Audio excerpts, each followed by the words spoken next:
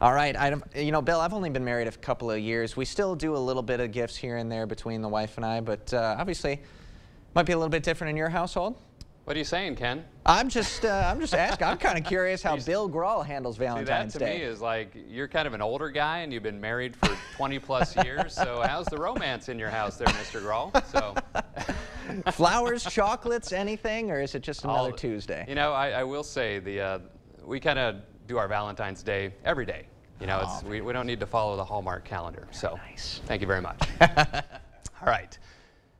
Tracking some storms for you. Uh, lots of rain for this Valentine's Day. Let's uh, take a look at the numbers. 45 uh, the high today, 37 the low, so well above those averages once again. 32 and 14 are the uh, averages for today, 56 and 17 below the records, and so far uh, 0.07 inches of rainfall, but uh, we are adding to that as we speak with some rain falling in downtown La Crosse. 43 degrees out at the airport, feels like 38, 45 downtown at the station. By the way, wind sustained at about 10 miles per hour, but they've been gusting over 20 miles per hour. In fact, Eau Claire, you're seeing a wind gust of 26, making that 40 uh, feel like 30. And as you can see, streets are wet. Good job keeping your headlights on, folks. That's what you should do whenever it is foggy, raining, or snowing. Anytime the visibility is impacted, especially precipitation's falling, even during the day, turn those headlights on so that we can see you coming. All right, temperatures in the 40s and 50s. It's no wonder we're seeing rain rather than snow. There's just not a lot of cold air to work with. It's well to the west here uh, over eastern parts, or I should say western parts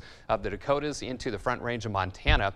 Uh, current temperatures locally, coldest readings up towards Red Wing and Eau Claire, but still 39 degrees, so well above freezing. Uh, a lot of us are in the lower to middle 40s yet. There's those winds out of the southeast, 5 to 15, gusting 20 to 30 miles per hour, and these winds will continue tonight and tomorrow. So radar showing bands of showers and uh, where you see these yellows, uh, maybe some brief heavy rainfall uh, as these uh, showers continue to lift pretty much uh, south to north as an area of low pressure continues to spin down near Omaha, Nebraska here. And look at the size of this storm system with the cold front extending all the way down to Louisiana. So this is the first storm that's bringing mainly rain to the area tonight. And then this one near the Four Corners again. Uh, this one uh, is tracking towards us for Thursday, and the best snow chances with that continue to be to the south and east. You'll see that on Sky Tracker. So Rain Tracker, first of all, showing rainfall totals maybe a quarter inch to a half an inch plus uh, by the time all uh, kind of winds down tomorrow morning. And uh, Sky Tracker showing those periods of rain tonight, lots of wind.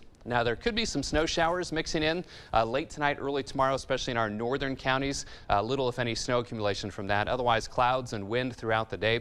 And then heading into Thursday, that's when that snow chance starts to approach from the south and west. And you can see the snow kind of makes it into southeastern parts of the viewing area. Very similar track to that system we saw last week.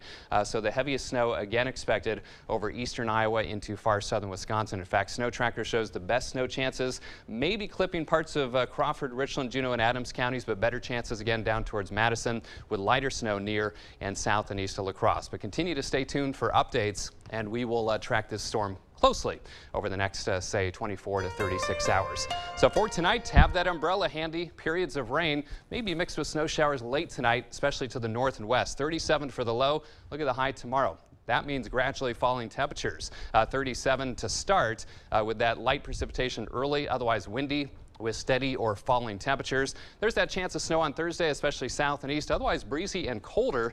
20s for highs on Thursday and Friday. Back in the 40s though for the weekend, but then it gets cold again heading into next week with highs in the upper 20s to lower 30s. Maybe some light snow showers or flurries on Monday and Tuesday. So uh, pretty active week of weather, but uh, again, mainly rain with this storm system for today and tonight. All right. Thanks a lot, Bill. Okay.